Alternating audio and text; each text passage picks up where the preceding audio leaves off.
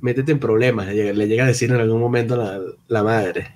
Y dice, bueno, ¿y cuántas madres conoces tú que te, que te dirían eso?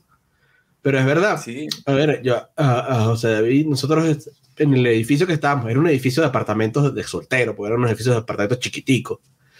Eh, y en el, y yo vivía en el, en el 7, o sea, vivía en el 8, y debajo de nosotros vivía Jesús, que era uno de nuestros, vecinos, que era un, de la misma edad, nosotros éramos de la misma edad.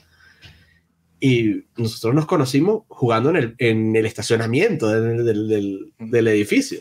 O sea, que a veces bajaban, yo a veces veía que habían un niño jugando en el estacionamiento y, ah, bueno, bajaba. Eh, epa, este es José David, epa, este es Jesús. Sí, y, qué curioso que tú veías niños y veías niños y decías, ah, yo niño, ellos niños, jugar. y ya, no había hace falta más nada, ¿no? Cine Millonario, el podcast.